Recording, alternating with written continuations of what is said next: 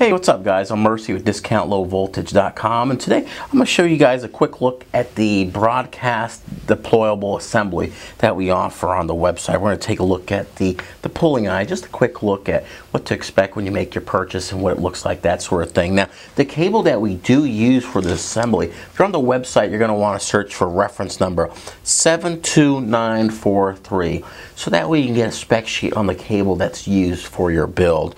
And um, there's also a separate bit, uh, video on just the cable itself. So, um, so if you want to look into that a little bit, you can go ahead and search that reference number and dive into that. There's also a PDF spec sheet in the downloads tab with for that cable. So uh, let's go ahead and check out this build real quick. Okay, so here's uh, basically what each side's going to look like. It's got this flexible mesh. We include a little ring here at the end so you can go ahead and pull it uh, without pulling on the connectors or the, um, I guess you can pull from the cable further below, but um, it's probably better if you pull at the very end with this, uh, you know, little ring we put, put to the end of the mesh here. So now underneath that mesh, once you get it pulled back, uh, this is what the construction is going to look like on the bottom here.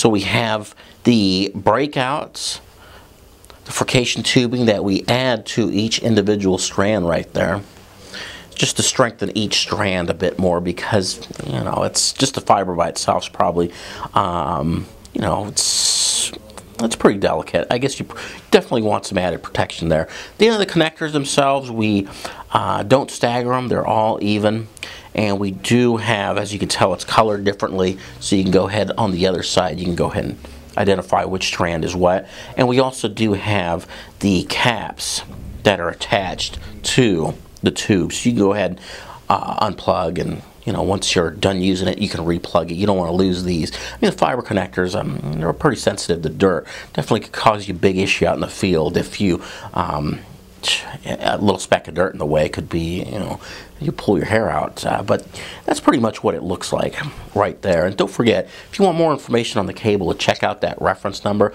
The other thing I do want to mention is with each cable, uh, we do include a dB loss spec sheet.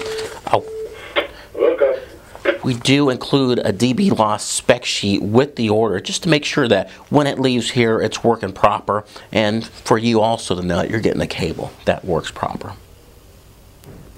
One thing that you'll notice in this video is that this particular cable build that we made had a wooden spool. This particular customer has, it's just going to lay this cable out in an area where there's a lot of traffic, it's going to get stepped on, that sort of thing. But if you do need to deploy, you know, reel and uh, recoil, uncoil, that sort of thing, you might want to consider one of these higher end spools. We do have these as an option. You can add it to your build and you know when you get your cable ordered it'll show up with this cable on this particular reel. So if you plan on doing it a lot and you expect to have this cable for a long, long many years down the road, that's probably the best way to go. So just something to consider.